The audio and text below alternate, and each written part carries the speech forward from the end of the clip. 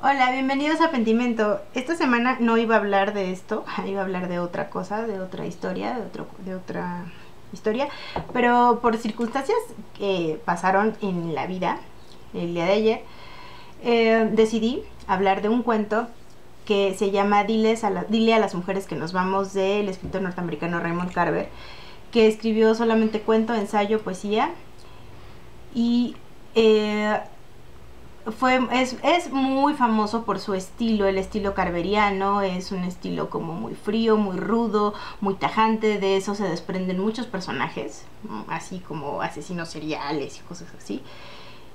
Quizás es el autor norteamericano más famoso de mediados del siglo XX para acá, en cuestión de cuento. Y eh, bueno, tiene muchos libros de cuentos. Su libro más famoso, o el más premiado, o el más aclamado, es uno que se llama de, de qué hablamos cuando hablamos de amor, publicado en 1981 en Anagrama.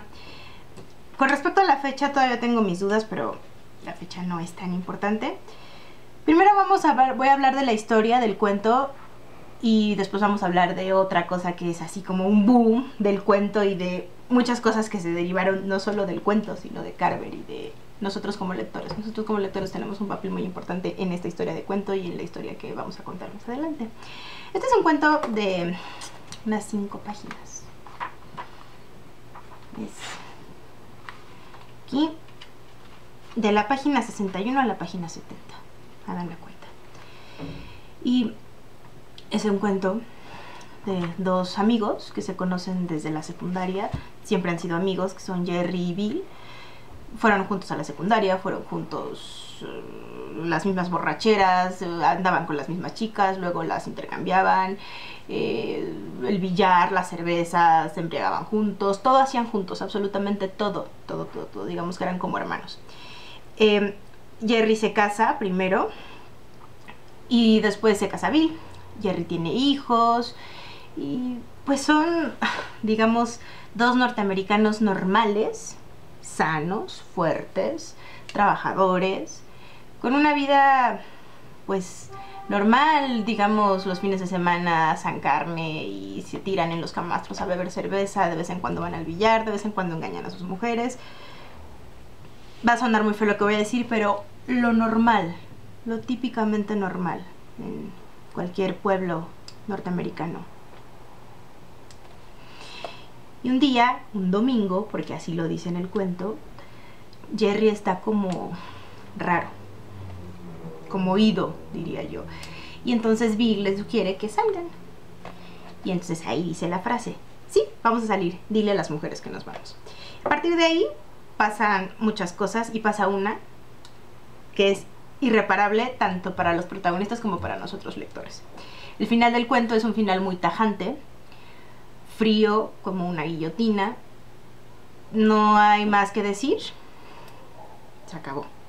No voy a decirles el final. Y bueno, o sea, para los lectores es así como, bueno, wow, o sea, Raymond Carver, todos querían escribir como Raymond Carver. Y sí, wow, maravilloso. Carver muere en 88. Y por ahí de los noventas, de lo que quiero hablar, más bien por lo cual decidí hablar de este cuento, tienen que leer el cuento, es porque em, como una tarea a mí me dejaron leer este cuento y mi mamá, que siempre es muy atinada y con mucha visión, me recomendó un texto de Alessandro Barico publicado en La Jornada en 1999, en donde habla de que, bueno, Raymond Carver, los cuentos de Raymond Carver, los originales, no eran como los que nosotros lectores leímos. ¿Qué quiere decir esto? Que su editor, llamado Gordon Leach, le cortaba más de la mitad, o la mitad a veces, como un 50% de los cuentos. Porque le parecía que no estaba bien, que había que cortar ciertas cosas. Alguien dijo tijeretearlo todo, porque no servía. Y como eran muy amigos, fue de como un acuerdo, no había nada...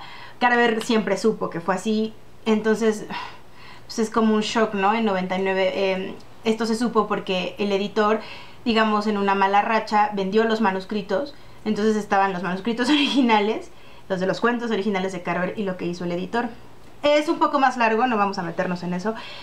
Lo que yo quiero decir es un poco por lo que los invito a que lean el cuento, no solo a Carver como autor, sino este cuento y que se avienten en esta, en esta historia porque es realmente una historia. Es algo que dice Barico, es bueno, el autor, el editor, perdón, vio algo que no valía la pena que nosotros lectores viéramos. ¿Qué es lo que vio? Bueno, pues vio que Carver era un poco sentimental, un poco humano o mucho muy humano en cuanto a sus personajes malos. Lo digo entre comillas porque cuando ahora ya tenemos la oportunidad de leer los cuentos originales de Carver y de leer eh, el cuento que no es el de su suscrito original y compararlo. Y es como si tuviéramos dos cuentos. Y en esos dos cuentos nos damos cuenta de que hay mucho más en Carver, en el cuento, en sus cuentos, que no nos no, supimos hasta ahora porque el editor se los cortó. ¿Y qué es lo que hay de más bueno? Que los asesinos o los psicópatas o las malas personas o los golpeadores, misóginos, eh, abandona hogares, tienen sentimientos. Dentro de ese hielo, dentro de ese cubo de hielo, todo eso dice Baricó, hay calor que derrite ese hielo. Hay emociones y leyendo el cuento original terminas por comprender que el monstruo no es un monstruo o no es tan monstruo. Terminas de alguna manera entendiendo, quizás no poniéndote del lado del malo, pero entendiendo un poco por qué es malo o por qué es así. Es un poco como el ejemplo que hemos puesto tantas veces aquí de Nadine Gordimer con respecto a la persona que pone una bomba. ¿Por qué? ¿Por qué puso la bomba? Es como muy complejo y es todo un tema, me di cuenta de eso, toda una polémica, porque hay quien dice que no, que el texto, o sea, que qué bueno que cortaron el texto porque pues el cuento original pues, era una porquería, ¿no? En el sentido de que a mí que me importa lo que pensaba el Jerry o Bill, cuáles eran sus sentimientos, cuáles eran sus emociones, cuál era su pasado. A mí lo que me importa es la acción, por qué lo que pasa. Sí, pero quizás sí sea importante saber por qué pasa, por qué son así.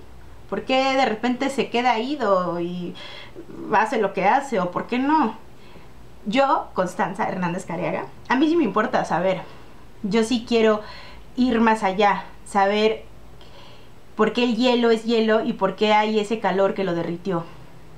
Y eso es lo que dice Barico. También a Barico le gusta más el Carver original. Da toda una explicación. Les recomiendo mucho que busquen el texto. Está en la jornada. Ustedes ponen Barico Carver y les va a aparecer no solo de Barico, sino de muchas cosas. ¿Por qué lo digo? Porque como lectores tenemos ese libre albedrío de decidir. Tenemos dos cuentos que son muy diferentes. Son dos, podríamos decir que son dos autores. Pero nosotros, lectores, decidimos con qué cuento nos quedamos, decidimos cuál nos gusta más y nos puede gustar más el, de, eh, el que cortó el editor o nos puede gustar más el original o al revés. O también puede ser que no nos gusten los cuentos, como, bueno, a mí no es que no me gusten, yo soy mala lectora de cuentos, ya lo hemos dicho. Pueden ser muchas cosas, pero hay que ir más allá. La literatura es eso justamente, nosotros podemos decidir, nosotros podemos decidir con qué nos quedamos, con qué, qué es lo que queremos saber, no solo de este cuento, sino de todos los cuentos de Carver, porque no solamente fue este cuento, este es como el más famoso. Y bueno, el libro de cuentos, este en anagrama, y en anagrama también está publicado los cuentos originales, como él los escribió. Eh, el mes pasado creo que sacaron, eh, publicaron sus poemas. Y bueno, en su historia personal de Raymond Carver, la verdad es que es una historia muy triste. Entonces, si juntamos todo eso, realmente no lo podemos dejar pasar como lectores. No solo el cuento, perdón, sino toda la historia, todo lo que está alrededor. Y bueno, por supuesto, eh, no quedarnos solamente en el, pues sí, qué bueno que lo cortó, porque no, o sea, es, pues vamos a leer los dos. Y yo voy a decidir cuál me gusta más, con qué Carver me quedo. Todo esto para que lean el cuento, lean más a Carver, lean, busquen el texto de Barico. Y esto es más común de lo que parece todo esto del papel del editor y eso, pero quizás este es el que más, más dolor estomacal me ha causado y por eso decidí hablar de él. Además de que el cuento realmente sí es así como, bueno, me gusta más la versión original. A mí, yo me quedo con la versión original, yo Constanza. ¿Ustedes con cuál se quedan? Me lo pueden escribir, me pueden decir si ya sabían de esto o si no, o qué piensan, o lo que quieran. Y suscribirse en el botón que está aquí abajo y darle like al video. Nos vemos.